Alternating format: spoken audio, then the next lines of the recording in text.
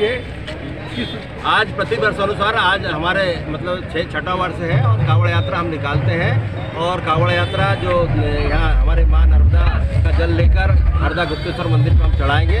और इसमें बड़ी आप देखिए सौभाग्य की बातें हैं कि आज हमारे मुस्लिम परिवार के सभी सदस्य लोग ये भी हमारा स्वागत कर रहे हैं कावड़ यात्रा का। तो ये मोहब्बत की दुकान है ये लेकिन नफरत के बाज़ार में मोहब्बत की दुकान सजाते हम लोग तो सजा रहे हैं और सब लोग साथ में मिलकर हम लोग कावड़ यात्रा निकाल रहे हैं और सब हमारा समर्थन कर रहे हैं, सहयोग कर रहे हैं। इसलिए हम उनका भी बहुत बहुत आभारी है। और इस तरह से हमारे देश और प्रदेश में भी होना चाहिए कि सब मिलजुल कर त्यौहार मनाएँ, आपस में सब मिलकर रहें और भारत का विकास करें, मध्य प्रदेश का विकास करें, हरदा का विकास करें हटिया का विकास करें। यही मेरी भावना है। और भगवान भोलेनाथ से ही प्रार्थना करता हूँ कि सबको सुखी रखे, सबको समृद्ध दे और सबकी उन्नति हो।